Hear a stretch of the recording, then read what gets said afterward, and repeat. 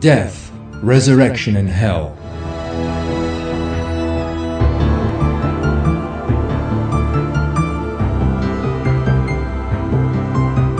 The text is based on the book Death, Resurrection, and Hell by Harun Yahya.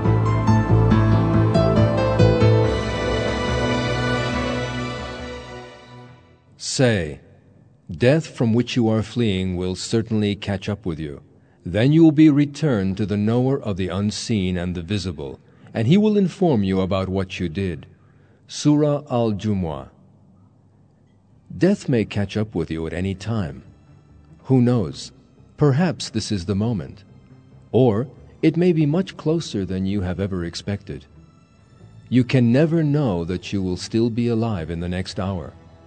Even if it proves to be so, nothing can guarantee you another hour let alone an hour, not even after a single moment is it certain that you will still be living. Death will most likely come upon you at a time when only a moment before the thought of death never entered your mind. Numerous aims pertaining to life occupy man's mind. To finish high school, to enter university, to graduate, to have a respectable occupation, to marry, to bring up children, to lead a peaceful life. These are among the broadest and most ordinary plans of man. These aside, there are thousands of other little plans we devise to sort out our personal circumstances. None of these plans are certain to occur, yet death will, with 100% certainly, occur. After years of hard work, a student succeeds in entering university yet dies on the way to class. Someone who has been recently hired for a job loses his life on the first morning, commuting to his work. Or a traffic accident ends the lives of a newly married couple on their wedding day. At such a stage, plans no longer avail. Leaving behind plans doomed to remain unfinished for all eternity, they head for a point of no return. And yet, it is a destination they never planned for. Ironically, for years they spent too much time detailing plans which would never be put into operation, yet never gave a thought to the one certain thing that would happen. How then should a man of wisdom and conscience establish his priorities? Does he have to make his plans for the one thing certain to happen, or for something he does not know will happen? The majority, it is evident, give priority to goals which they can never be certain of accomplishing. No matter which phase of life they are passing through, they resolutely plan for a better and more fulfilling future. Yet the fact remains that all plans are doomed to that absolute end called death. Thus, it is irrational to disregard death, which is certain to occur. In this program, it is intended to make man ponder over this issue that he avoids thinking about and warn him against an imminent and inescapable event. This great event is certain to happen.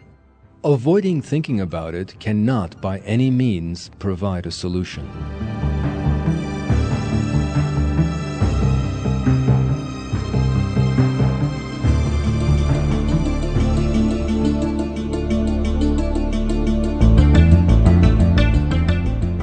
Throughout history, man has successfully coped with many seemingly intractable problems. But death has remained inescapable. Everyone who appears on this earth, no matter when, is destined to die. Man only lives until a certain day and then dies. While some die very young, some others face death in their old age. Nothing a man possesses Neither possessions, nor fortune, status, fame, grandeur, confidence, nor good looks can repel death. Without exception, all men are feeble against death, and will always be so. The majority of people avoid thinking about death. It never occurs to them that this absolute end will befall them one day. Yet, no matter how much these people try to escape from the thought of death while they are alive, they will face the fact of death. In the Quran, this end is stated thus Every self will taste death, You will be paid your wages in full on the day of resurrection. Anyone who is distanced from the fire and admitted to the garden has triumphed. The life of the world is just the enjoyment of delusion. Surah Al Imran 185. Death does not occur by chance. As is the case with all other incidents, it happens by Allah's decree. Just as the birth date of a man is predestined, so also is the date of his death. Right down to the very last second, man rushes towards that last moment, rapidly leaving behind every hour, every minute granted to him. The majority of people, however, assume death to be the last point of a logical sequence of events. Yet, Death also, like life, occurs according to a destiny determined by Allah. Destiny is Allah's perfect creation of all events, past and future, in timelessness. Allah is the one who creates the concept of time and space from nothing, who keeps time and space under His control, and who is not bound by them. The sequence of events which we experienced in the past or which we will experience in the future is, moment by moment, planned and created in the sight of Allah. Allah creates time, thus He is not bound by it. In His sight, everything has already taken place and finished. This is similar to the images on a film strip. Just as the images on a film cannot exercise any influence on the film and change it, human beings who play their individual roles in life cannot influence the flow of events recorded on the destiny strip. Human beings have no influence whatsoever on destiny. Just the contrary. It is destiny which is the determining factor in people's lives. Man, an absolute component of destiny, is not separate and independent from it. Let alone changing destiny, man is unable to go beyond the boundaries of destiny. It is like an actor slipping out of the video cassette, acquiring a physical existence, and starting making changes in the film by deleting unfavorable scenes or adding new ones. This would surely be an irrational suggestion. For this reason, no matter whether a man thinks about it or not, he should know that the time he will face death is determined for certain in his destiny, and that his destiny is created by Allah. Trying not to think about death is no solution. On the contrary, the more he thinks about the closeness of death and works for the life in the hereafter, the better it will be for him. However, although the majority of people are extremely sensitive about the issues linked to their own interests, they display indifference towards death. Yet death ought to be a matter of paramount concern. In the Quran, this state of mind, peculiar to those who do not hold firmly to faith, is defined by Allah in one word heedlessness. This state of mind is described in the first verse of Surah Al Anbiya as follows Mankind's reckoning has drawn very close to them, yet they heedlessly turn away. Surah Al Anbiya 1. As the verse makes clear, People approach a step closer the day of account each day. Despite this, however, in their heedlessness, they never think how they will give an account of their actions.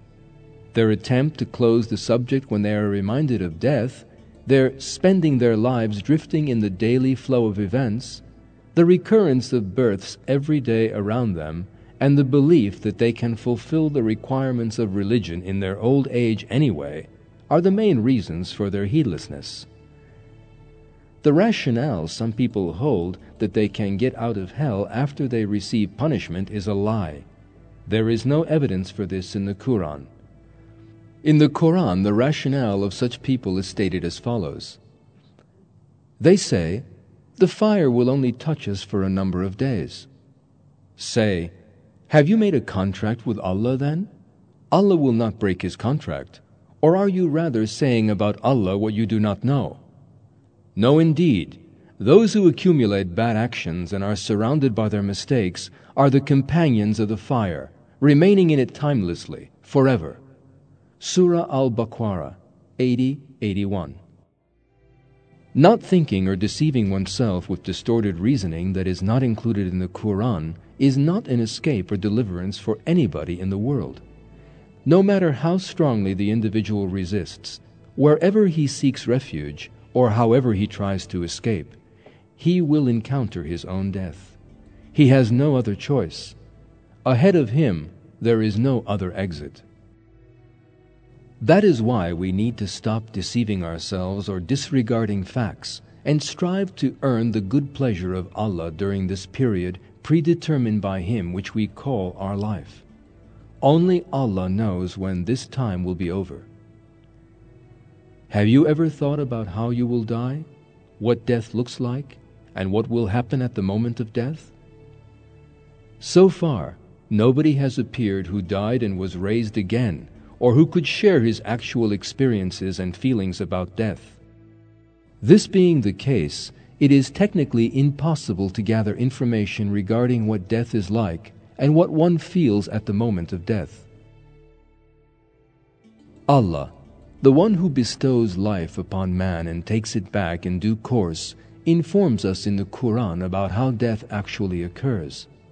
Thus, the Quran is the only source from which we can learn about how death really occurs and what someone who dies actually experiences and feels. When we look at the Quran, we see a very interesting fact.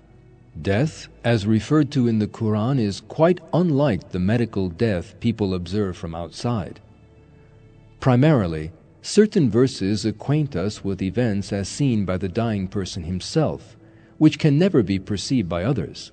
This is related in the Surah Al Waqiah. Why then, when death reaches his throat and you are at that moment looking on, we are nearer him than you, but you cannot see us. Surah Al Waqiah 83 85. These events that are experienced at the moment of death will be tough for the unbelievers. The moment of death of unbelievers is stated in the Quran. If you could only see the wrongdoers in the throes of death when the angels are stretching out their hands, saying, Yield up your souls. Today you will be repaid with the punishment of humiliation for saying something other than the truth about Allah and being arrogant about His signs. Surah Al An'am 93. Unlike the disbeliever's death, that of the believers is blissful. This fact is related in the Quran. The angels reclaim the souls of the just, saying to believers, Peace be upon you. Enter the garden as a reward for your labors. Surah Al Nahl 32. These verses disclose a very important and unchanging fact about death. At the moment of death, what the dying person goes through and what those nearby observe are dissimilar experiences. For instance, a disbeliever may be perceived to experience a peaceful death from outside. However, the soul in a totally different dimension now tastes death in a very painful way. Alternatively, the soul of a believer, despite seemingly suffering great pain, is taken by angels gently, as stated in the verse. In brief, the medical death of the body and the death of the soul which is referred to in the Quran are totally different events. The moment of death is a great torment for disbelievers, whereas it is a bliss for believers.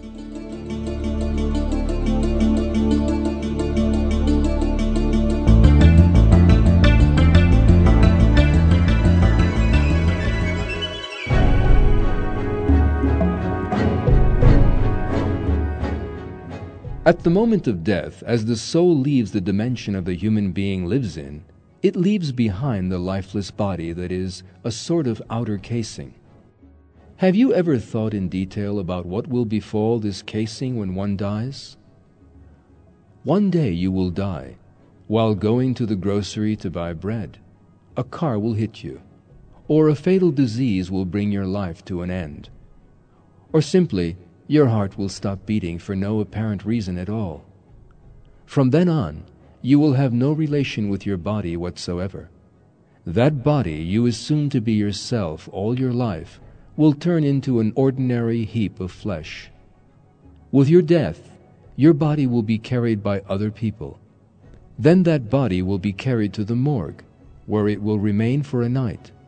The lifeless body, now very rigid, will be washed all over with cold water. Meanwhile, the traces of death will start to appear, and some parts of the body will turn purple. Then the body will be wrapped in a shroud and put in a wooden coffin. The hearse will be ready to take the coffin. Proceeding towards the graveyard, life will be as always on the streets. Seeing that a hearse is passing by, some people will show respect, but the majority will go on with their daily tasks. At the graveyard, the coffin will be carried by those who love you or by those who seem to love you. Then people will arrive at the inescapable destination, the grave. Your corpse will be taken out of the coffin and placed in the pit. Finally, people with shovels will start to cover your body with soil. Soil will be thrown onto the shroud. Then the soil will gradually cover your shroud. Soon, the funeral will be over, and people will leave the grave. Then the graveyard will return to its deep silence. Those attending the funeral will go on with their everyday lives, and for your buried body, life will no longer be meaningful. A beautiful house, a pretty person, a breathtaking landscape will mean nothing.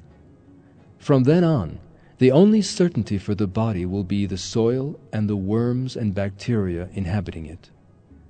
That is the way a human being's life, created in the best of forms, comes to the most horrible end possible.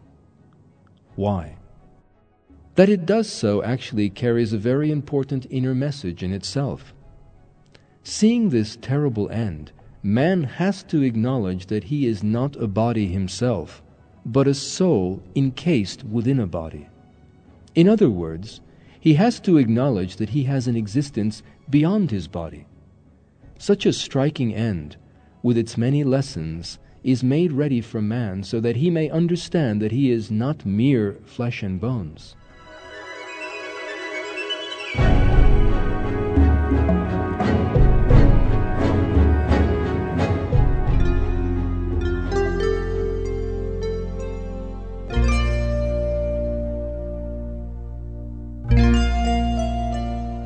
The majority of people have an inadequate concept of death. Death is the moment life ends, is one of these. However, there is a very thin border between this world, which is a temporary abode, and our actual life, the hereafter.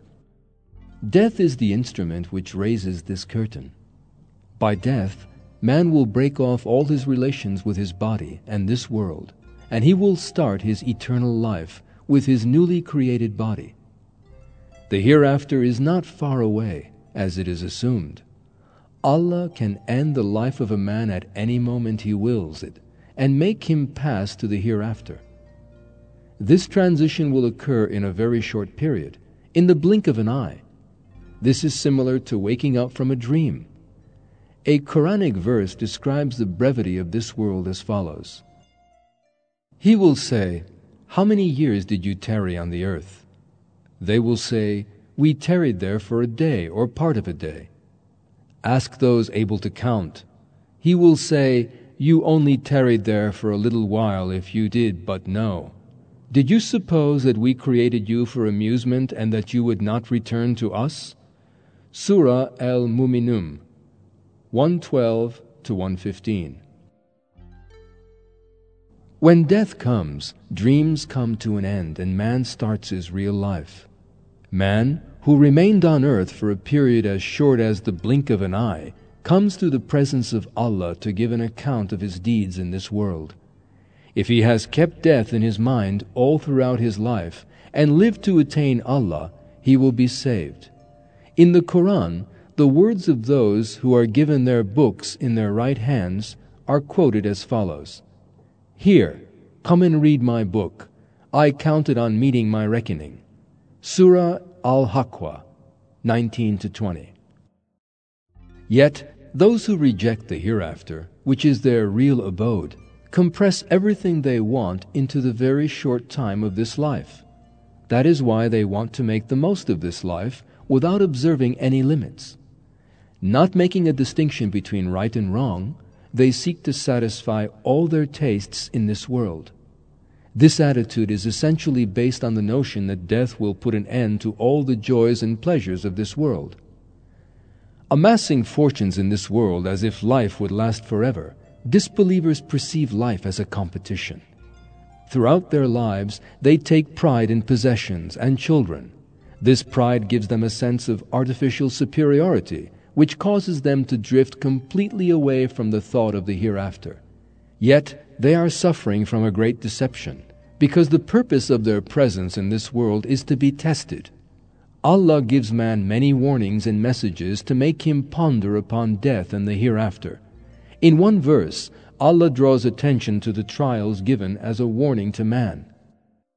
Do they not see that they are tried once or twice in every year? But still they do not turn back. They do not pay heed. Surah Al Tawbah 126. Indeed, the majority of people encounter various trials, so that they may frequently ask for forgiveness and take heed.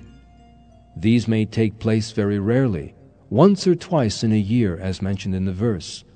Alternatively, they may be small daily troubles. Man witnesses accidents, deaths, or injuries. In the face of such events, man should remember the calamities can at any time befall him, and at any moment this testing period may end. Such an awareness makes him sincerely turn to Allah, seek refuge in Him, and ask for forgiveness from Him. The lessons believers draw from the adversity they encounter are well learned and remembered. Yet the same events make a totally different impact on disbelievers, and their reaction is totally different. By rejecting the closeness of death or trying to forget it, they seek relief. However, this deceptive method only does them harm. This is because Allah reprieves them till a predetermined time, and this period contrary to what they think, works against them. In another Quranic verse, it says, Those who are disbelievers should not imagine that the extra time we grant them is for their good. We only allow them more time so that they will increase their evil doing. They will have a humiliating punishment. Surah Al Imran 178. As a conclusion, man continues to be tested by countless events befalling him. His success in dealing with them earns him rewards in the eternal life, while his failure earns him punishment. Nobody knows when his period of testing will end. In the words of the Quran, the term of every life is fixed. This term can sometimes be long, but it can sometimes be short. The truth is, however, that even the period we regard as being long rarely extends beyond 70 or 80 years. That is why, rather than engage in making long term plans, man has to be guided by the Quran and live by its principles, knowing that he will have to give an account of all his deeds in the hereafter. Otherwise, failure to prepare oneself for the eternal life, missing the one and only opportunity granted for this purpose, and deserving hell for all eternity will be a painful situation indeed. The only destination of someone who is deprived of paradise forever is nowhere else but hell. That is why every moment spent wasting our time in meaningless pursuits in this world is a great loss and a giant step taken towards an atrocious end. Since this is so, this fact should take precedence over everything else in this world. Just as a man prepares himself for the possible situations which he will confront in the course of his life, he needs to devote similar and even greater efforts to becoming prepared for the next life. This would be the wisest plan. That is because the one who will die will be him. He will experience everything that happens after death all alone.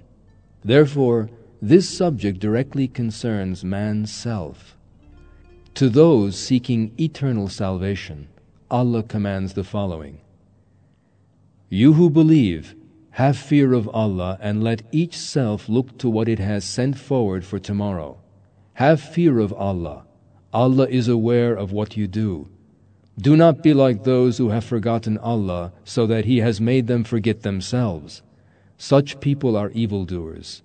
Surah Al Hashr 18 to 19.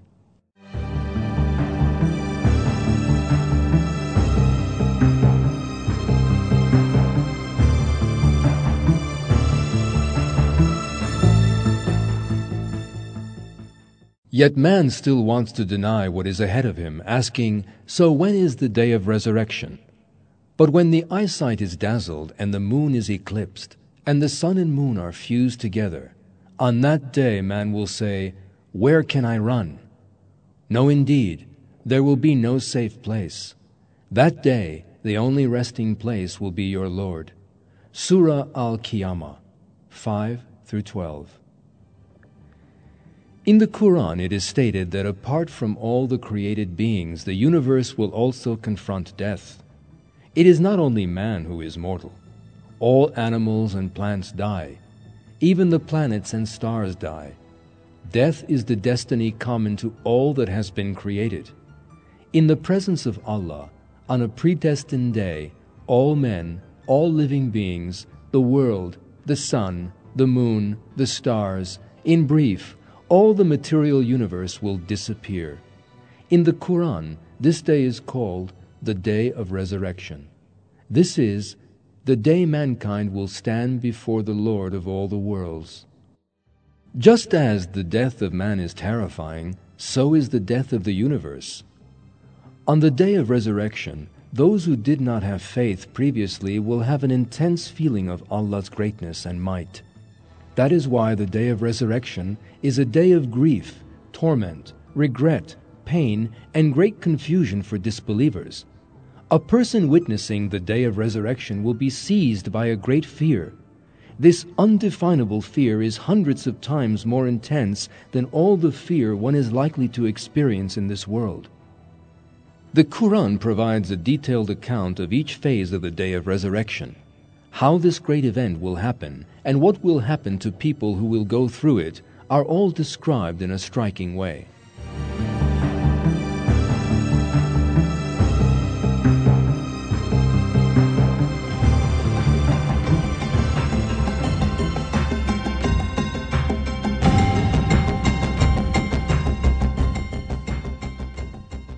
The day of resurrection begins when the trumpet is blown. This is the sign of the total destruction of the world and all the universe and the beginning of the end. This is the point of no return. This is the sound declaring that the life of the world has come to an end for all, and that the real life has begun. The sound of the trumpet will surely create a great dread and unrest among disbelievers. An imperceptible, non definable vibration with no apparent source will permeate the entire world and hence all people will acknowledge that something is beginning. The sound of the trumpet will lead to ongoing unrest, panic, and horror. A great tremor and a deafening blast follows the sound of the trumpet. At this moment, people recognize that they are face to face with a horrible disaster. It is obvious that the world and life is about to cease to exist. This atmosphere is described in the verses in this way. When the deafening blast comes, the day a man will flee from his brother and his mother and his father and his wife and his children. On that day every man among them will have concerns enough of his own. Surah Abasa 33 to 37. When the earth is convulsed with its quaking, and the earth then shakes off its burdens, and man asks, What does this mean? On that day it will impart all its tidings, because the Lord will have inspired it. Surah Al Zilzal 1 through 5. The calamities which will occur on that day are beyond one's imagination. Man is unable to visualize them even if he tries. Mountains, the most awe inspiring, unshakable structures of the earth, are set in motion. They are lifted from their roots and crushed. Even a minor earthquake spreads terror into the hearts of people and inspires in them feelings of insecurity. It makes them leave their homes and spend the whole night out in the streets. This being so, the type of disaster so dreadful as to cause the mountains to shift proves to be unbearable. In the Quran, the mountains on that day are depicted as follows. So when the trumpet is blown with a single blast, and the earth and the mountains are lifted and crushed with a single blow, on that day the dread event will come to pass. Surah Al Haqqa 13 to 15. With its present faculties, it is unlikely that the human mind can conceive of the horror of the day of resurrection. However, that the destruction will be in due proportion with Allah's might gives an idea of its dimensions. For example, the surge of oceans and the overflowing of seas, the greatest components and sources of life on the earth, is one of the examples given in the Quran about that day. On the day of resurrection, not only the earth, but also space and the entire universe will be destroyed. The predetermined time of extinction will also come for the sky, the moon, the sun, and the planets, as well as the earth. Whatever lies underground, the mountains and oceans, the Quran states that on that day, what you are promised will certainly happen. When the stars are extinguished, when heaven is split open, when the mountains are pulverized. Surah Al Mursalat 7 through 10. On the day of resurrection, all beings and established orders in which people attribute eternity will collapse and will ultimately be reduced to nothing. The sky is one of them. From the moment we are born, the atmosphere proves to be a protective roof. Yet, on the day of resurrection, the roof will collapse and burst into pieces. The air and atmosphere which surround man and give him life with its every breath will become like molten brass, in the words of the Quran, and will burn with intensity. A comparison drawn between the fear created by the natural disasters on this planet and the horror of the events of the day of resurrection may provide some understanding about that day. Earthquakes and volcanic eruptions are the catastrophes that frighten man most. The earth crust cracked by an earthquake or a volcanic eruption dispels the regularity of everyday life in a moment. This makes man appreciate the solid ground he normally steps on with confidence. Nevertheless, despite all the pain they give, Earthquakes and volcanic eruptions tend to be short lived and localized. An earthquake or an eruption lasts for a certain period of time. Wounds heal, pains are forgotten, and in time they become faint memories.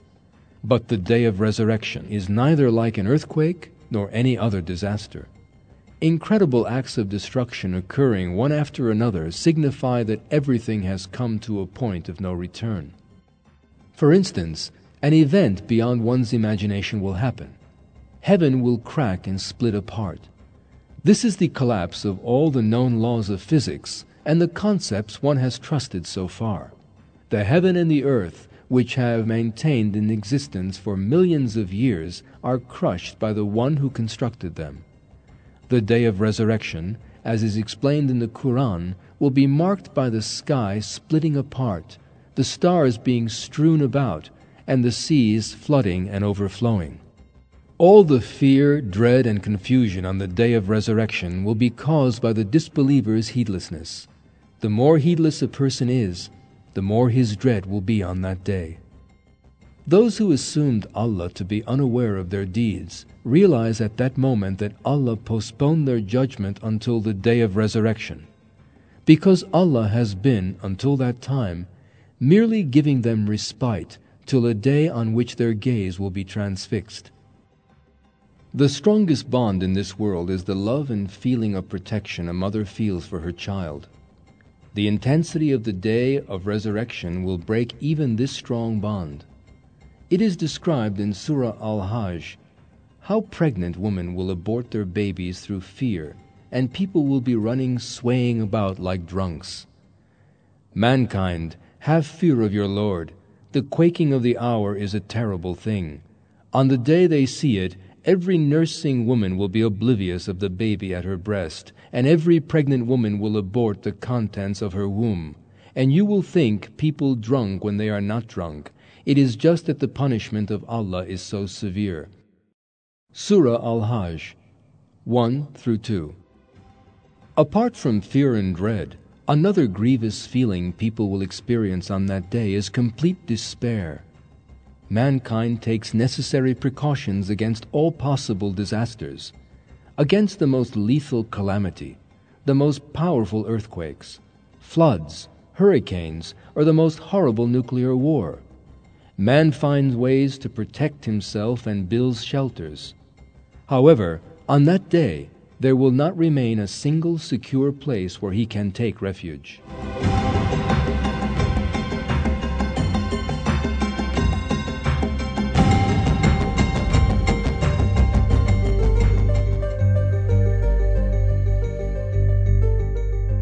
When the trumpet is blown for the first time, heaven and earth will be crushed, and the whole material world will come to an end.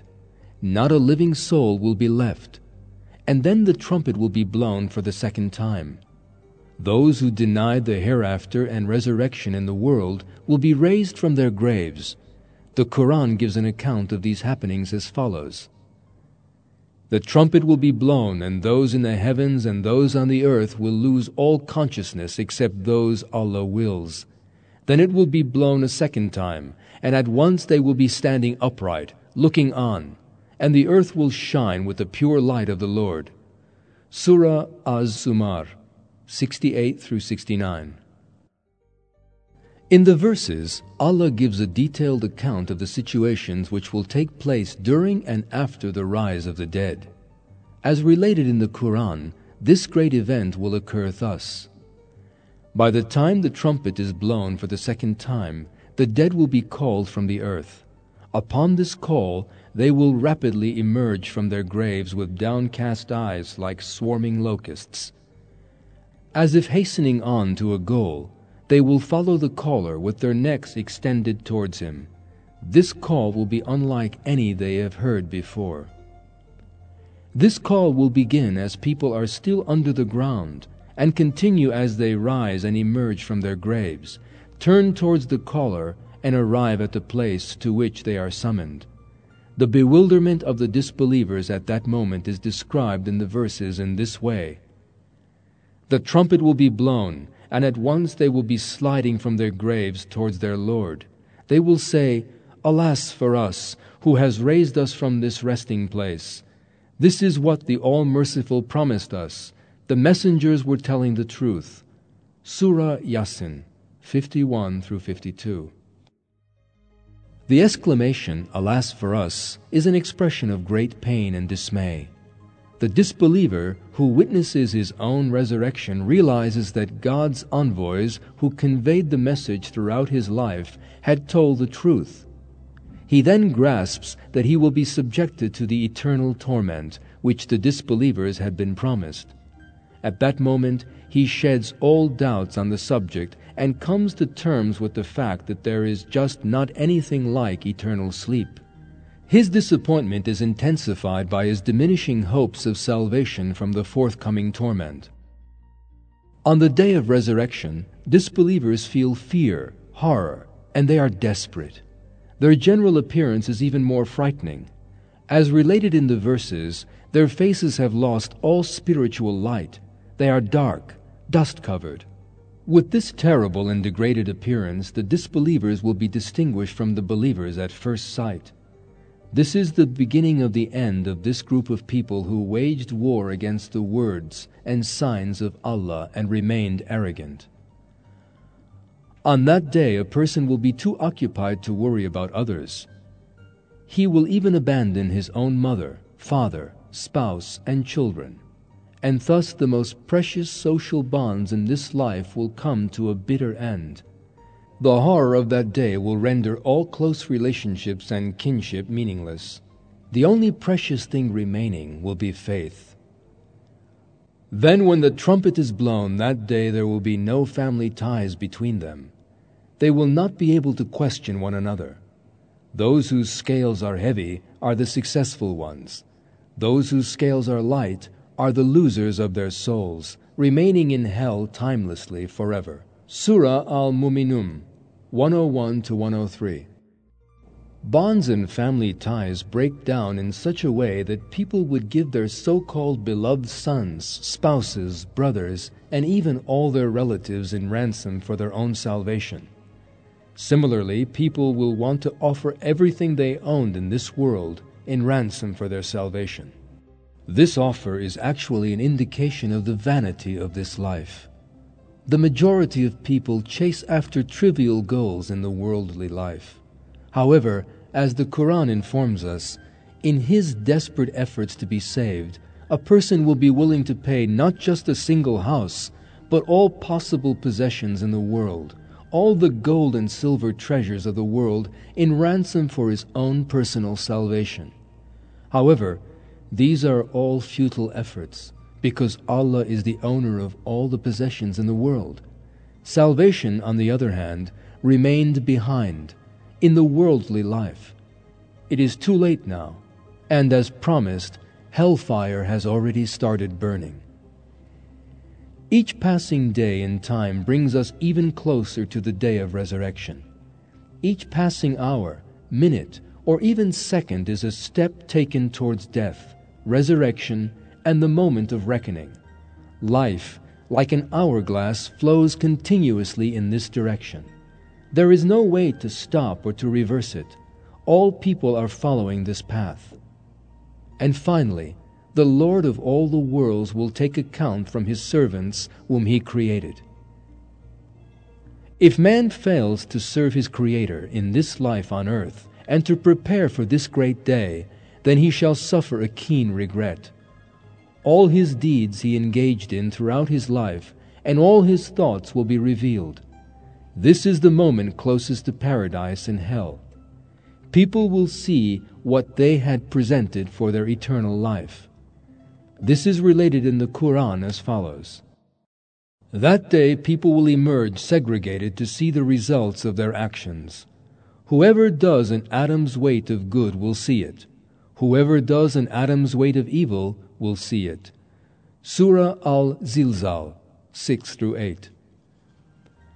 The reckoning is grueling for those who live not by the laws of Allah but by their own desires or by the distorted values, beliefs, and principles of their unbelieving society. In contrast to this, the way believers will give their accounts will be quite easy. After giving his account, the believer will remain in eternal bliss.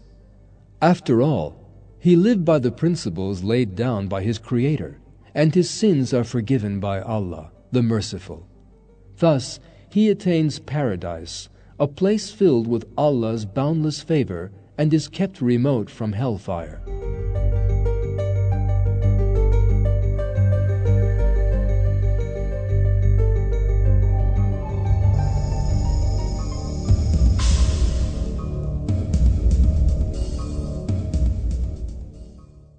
He, the denier, reflected and he schemed.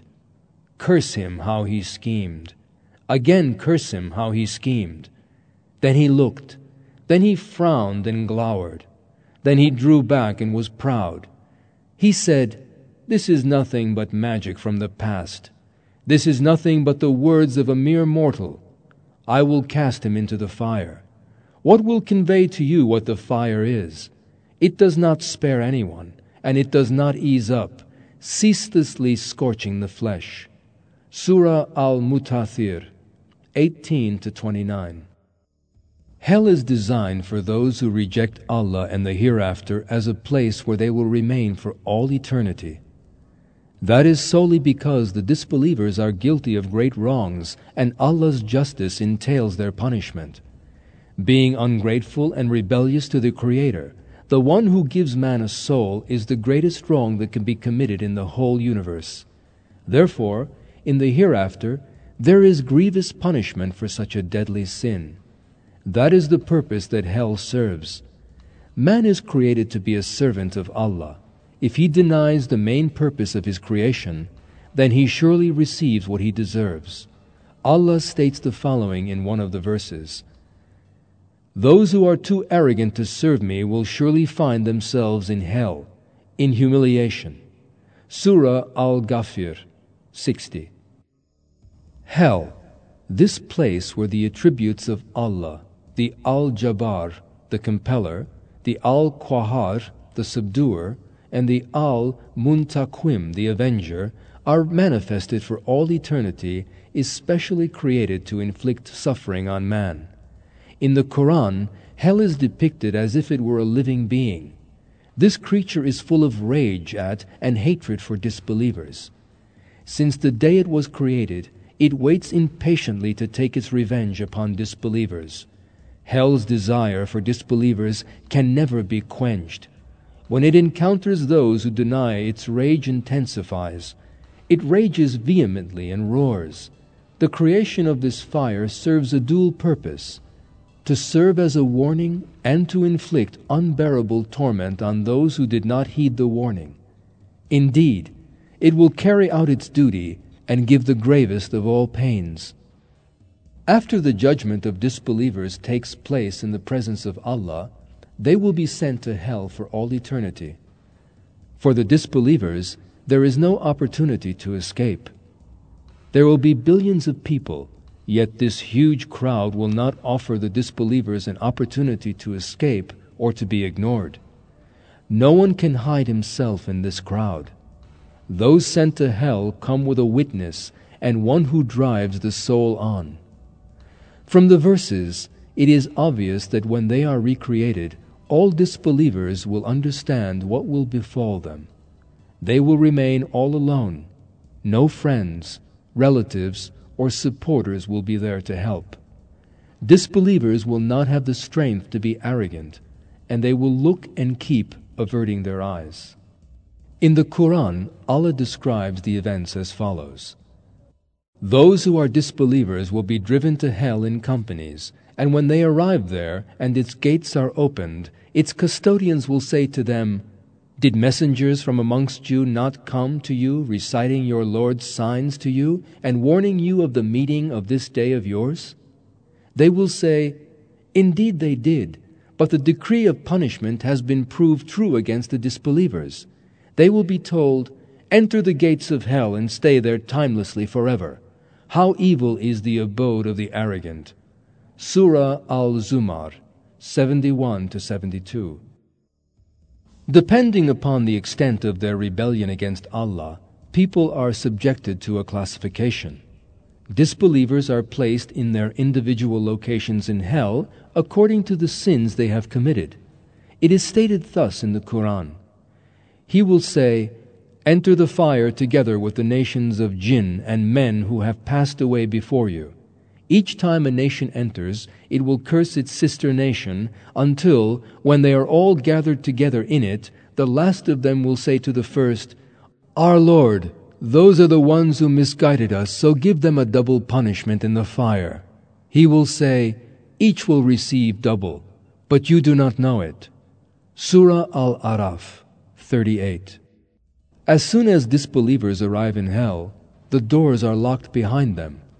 Here they see the most fearsome sights.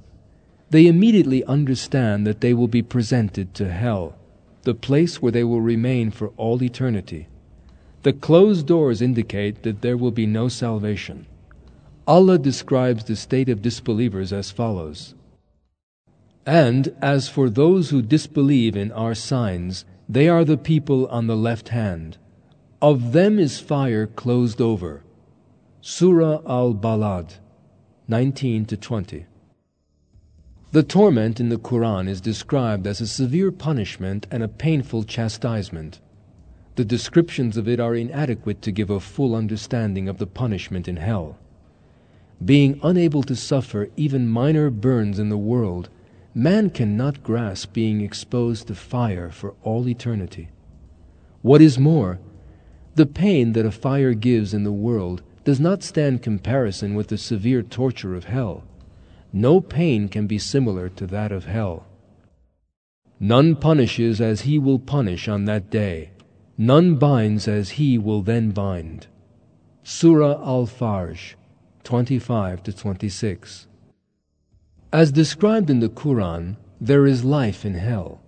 Yet it is a life in which every moment is full of torture and anguish. No less than physical pain, mental pain is also severe in hell. Like humiliation, regret, and hopelessness. Along with all this, punishments being eternal is another suffering that gives great pain. Those disbelievers who assume that they could get out of hell after they receive their punishment will experience a great terror as they realize the reality of eternal punishment. If it were to end after millions or billions of years, even such a long term possibility could arouse fervent hopes and remain a strong reason for happiness and joy. Yet the suffering is certainly eternal. Realizing this fact will inspire a kind of hopelessness that cannot be compared to any similar feeling in this world. According to the Quran, hell is a place for eternal punishment with its narrow, noisy, smoky places, fires burning deep in the heart, nasty food and drinks, garments of fire and liquid pitch. There is a life going on in this terrible environment. The people of hell hear, talk, and argue, and they try to escape from suffering. They burn in the fire, become thirsty and hungry, and feel regret. The people of hell live a life infinitely more debased than that of the animals in this dirty and disgusting environment. The only nourishment they have is the fruits of the bitter thorn and the tree of Zaqqum. Their drink, on the other hand, is blood and pus. Meanwhile, fire engulfs them everywhere. Fresh skins will be created for the burned ones. Thus, the pain of fire continues non-stop without diminishing. They are chained and whipped. Hands tied to their necks, they are cast into the core hell. Angels of punishment, in the meantime, place those who are guilty in beds of fire, with their covers also of fire. Disbelievers constantly scream to be saved from such anguish, yet they are not even answered. They want the penalty to be lightened, at least for a day. Yet in return, they again receive humiliation and torture. These scenes in hell are all real. They are even more real than our daily lives those who among men serve Allah as it were on the verge, those who commit sin saying, Allah will forgive us anyway, and assuming that they will stay in the fire for a few numbered days, those who make money, status, careers, and other such material things the main goals of their lives and accordingly neglect the good pleasures of Allah, those who alter the commands of Allah in accordance with their own wishes and desires, those who interpret the Quran according to their own interests, those who go astray from the right path. In brief, all disbelievers and hypocrites will abide in hell, except those upon whom Allah bestows His mercy and forgiveness. This is the conclusive word of Allah, and will certainly be borne out.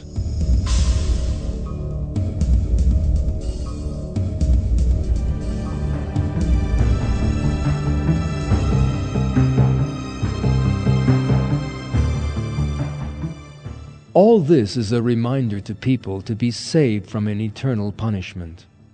Those who reject the commands of Allah in this world and deny the existence of their Creator will have no salvation in the hereafter. Therefore, without losing any time, each person has to realize his situation and leave the disobedient path, because the end of this path brings great destruction. The most important thing he has to do is to surrender to Allah. Otherwise, he will suffer an eternal regret. In the Quran, the regret of disbelievers is described as follows It may be that those who are disbelievers will wish that they had been Muslims. Leave them to eat and enjoy themselves. Let false hopes divert them. They will soon know. Surah Al Hijr 2 through 3. The way to avoid eternal punishment, win eternal bliss, and attain the approval of Allah is quite clear. Before it is too late, have true faith in Allah. Spend your life in doing good deeds to earn His pleasure.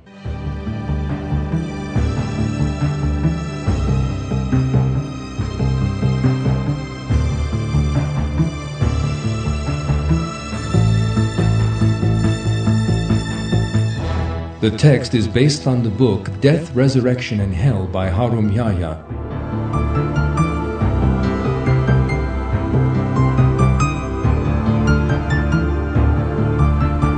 This audio representation is produced by the IPCI,